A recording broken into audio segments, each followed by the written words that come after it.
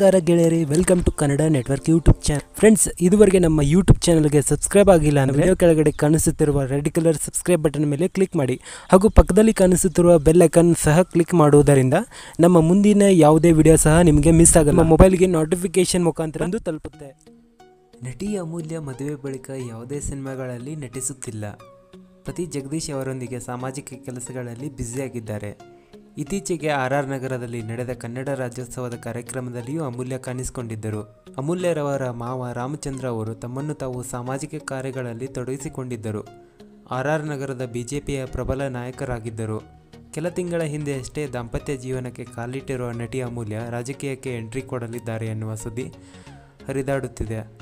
ಮದುವೆಯ ನಂತರ ಚಿತ್ರರಂಗಕ್ಕೆ ಗುಡ್ ಬೈ ಹೇಳಿರುವ ಈ ಚಲುವೆ, ಪ್ರತಿ ಜಗದೀಶ್ ಜೊತೆ ಹಲವು ಸಾಮಾಜಿಕ ಕೆಲಸಗಳಲ್ಲಿ ತಮ್ಮನ್ನು ತೊಡಗಿಸಿಕೊಂಡಿದ್ದಾರೆ. ಈ ಎಲ್ಲವನ್ನು ತಮ್ಮ ಫೇಸ್ಬುಕ್, ಟ್ವಿಟರ್ನಲ್ಲಿ ಅಪ್ಡೇಟ್ ಮಾಡುತ್ತಿದ್ದಾರೆ.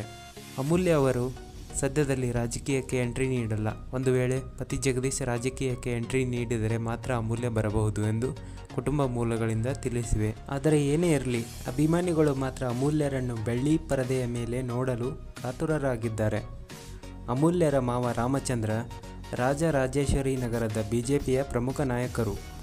ಹೀಗಾಗಿ ಇಂದಲ್ಲ ನಾಳೆ ಪುತ್ರ ಜಗದೀಶ್ ಕೂಡ ಬಿ ಜೆ ಪಿ ಕ್ಯಾಂಡಿಡೇಟ್ ಆಗಿ ಕಣಕ್ಕಿಳಿಯಬಹುದು ಎನ್ನಲಾಗಿದೆ. ಹಾಗೇನಾದರೂ ಜಗದೀಶ್ ರಾಜಕೀಯಕ್ಕೆ ಎಂಟ್ರಿ ಕೊಟ್ಟರೆ ಆಗ ಅಮೂಲ್ಯ ಸಂಪೂರ್ಣವಾಗಿ ಪತಿಯ ಜೊತೆ ರಾಜಕೀಯ ಕೆಲಸಗಳಲ್ಲೇ ತೊಡಗಿಕೊಳ್ಳಬಹುದು.